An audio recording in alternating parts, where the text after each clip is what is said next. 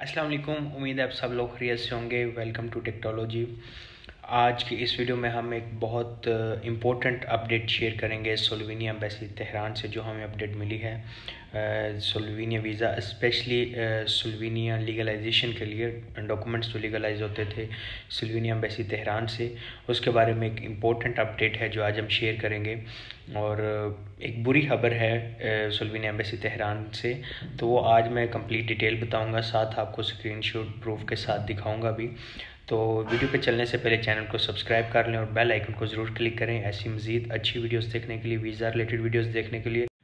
तो गाइज़ आइए स्टार्ट करते हैं। जैसा कि मैंने अपनी वीडियोस में सोलवीनिया वीज़ा के बारे में temporary resident permit from Slovenia embassy Tehran in videos में मैंने क्लियरली एक चीज़ मेंशन की हुई है। कि इन वीज़ाज़ के लिए एदर स्टूडेंट वीज़ा है या वर्क वीज़ा है, आपने टेम्पोरेरी रेजिडेंट परमिट लेना है टीआरपी लेना है तो कुछ डॉक्यूमेंट्स रिक्वायर्ड होते हैं जो आपको लीगलाइज करवाने होते हैं सोलवीनिया एम्बेसी तेहरान से पाकिस्तानी पासपोर्ट पर एंड अफगानी पासपोर्ट पर। उन डॉक्यूमेंट्स में मैंने बताया हुआ है, अगर आपका वर्क वीज़ा है वर्क वीज़े पे आप टीआरपी ले रहे हैं तो आपको पासपोर्ट की copy and police clearance certificate जिसे पीसीसी कहते हैं, ये दो चीज़ें लीगलाइज करवानी होती हैं। अगर आप स्टूडेंट वीज़ा पे ले रहे हैं तो आपको अपने educational certificates and then PCC और थर्ड चीज़ जो है पासपोर्ट कॉपी ये लीगलाइज करवाने होते हैं सुलविनिया बैसी तेहरान से। पहले क्या सीन होता था कि आलमोस्ट ये जो टीआरपी का प्रोसेस है सुलविन एम्बेसी तेहरान से पाकिस्तान इसके लिए, ये पहले ही बहुत डिफ़िकल्ट था। लेकिन लीगलाइजेशन के लिए लोगों को आना नहीं पड़ता था। हमें वो भेजते थे अपने डॉक्यूमेंट्स हम इधर से सोलविनिया अम्बेसी तेहरान से लीगलाइज करवा देते थे और उन्हें जस्ट अपने फिंगरप्रिंट्स के लिए बाद में आना पड़ता था। टीआरपी का जो प्रोसेस होता है, उसके लिए आना पड़ता था ईरान। लेकिन अब अम्बेसी ने अपने rules and regulation totally change कर दिए हैं। अब न्यू रूल्स के मुताबिक जैसे कि आप ये स्क्रीन में देख सकते हैं कि कोई दूसरा बंदा किसी के डॉक्यूमेंट्स लीगलाइज नहीं करवा सकता। हालाँकि ये बहुत ही एक इलॉजिकल जो उनका न्यू रूल्स हैं, वो हैं। क्योंकि हमारे पास एक पावर ऑफ़ अटॉर्नी होता है अथॉरिटी लेटर होता है प्रॉपर उस बंदे का पासपोर्ट होता है ओरिजिनल डॉक्यूमेंट्स होते हैं, उसमें उसने हमें पावर ऑफ़ अटॉर्नी दी होती है।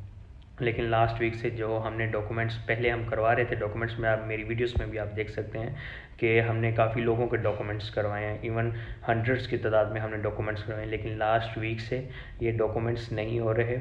ये एम्बेसी ने क्लियर कट लिखा है और हमने जाकर इन्फॉर्मेशन कन्फर्म भी की है तो उन्होंने हमें यही रिस्पॉन्स दिया है कि अब जिसको भी डॉक्यूमेंट्स लीगलाइज करवाना है, उसे इन पर्सन आना पड़ेगा सोलवीनिया एम्बेसी तेहरान, और आके डॉक्यूमेंट्स लीगलाइज करवाने होंगे।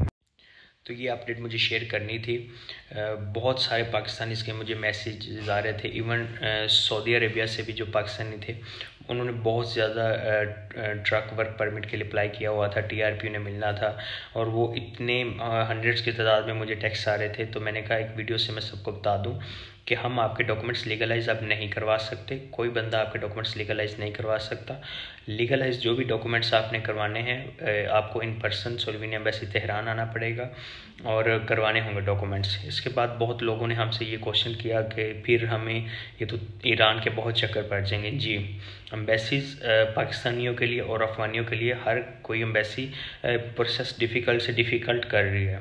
लीगलाइजेशन के लिए भी आना पड़ेगा, बाद में आपको फिंगरप्रिंट के लिए इनरोलमेंट के लिए भी आना पड़ेगा तो फिर आप टीआरपी आपको मिल जाएगा और आप सोलवीनिया जा सकते हैं सोलवीनिया ट्रैवल कर सकते हैं। तो ये थी आज की अपडेट मैं एक बार फिर रिपीट कर दूँ कि सोलवीनिया एम्बेसी तेहरान से जिन पाकिस्तानियों ने डॉक्यूमेंट्स लीगलाइज करवाने होते हैं, उन्हें खुद इन पर्सन आना पड़ेगा ईरान डॉक्यूमेंट्स लीगलाइजेशन के लिए। और लीगलाइज करवाने होंगे। कुछ लोग पूछते हैं कि वो एक ही अपॉइंटमेंट होती है लीगलाइजेशन की और फिंगरप्रिंट इनरोलमेंट की। जी नहीं, ऐसा नहीं होता। लीगलाइजेशन की अपॉइंटमेंट सेपरेट होती है फिंगरप्रिंट इनरोलमेंट की जो होती है अपॉइंटमेंट्स वो सेपरेट होती है। दोनों डिफरेंट अपॉइंटमेंट्स आपने लेनी होती हैं और जाके अपने डॉक्यूमेंट्स लीगलाइज करवाने होते हैं। तो उम्मीद है आपको ये वीडियो पसंद आई होगी। ऐसी मज़ीद अपडेट्स के लिए वीज़ा रिलेटेड थिंग्स के लिए और तेहरान में जो पाकिस्तान एफिलेटेड एम्बेसी है, उनके बारे में इन्फॉर्मेशन के लिए चैनल को ज़रूर सब्सक्राइब कर लें और बेल आइकन को ज़रूर क्लिक करें। अगर स्टिल आपका कोई क्वेश्चन है तो कमेंट बॉक्स में डालें। मैं आपको गाइड कर दूँगा, नहीं तो एक नेक्स्ट वीडियो मैं मज़ीद बना दूँगा जो भी आपका क्वेश्चन होगा। थैंक यू सो मच अल्लाह हाफिज़।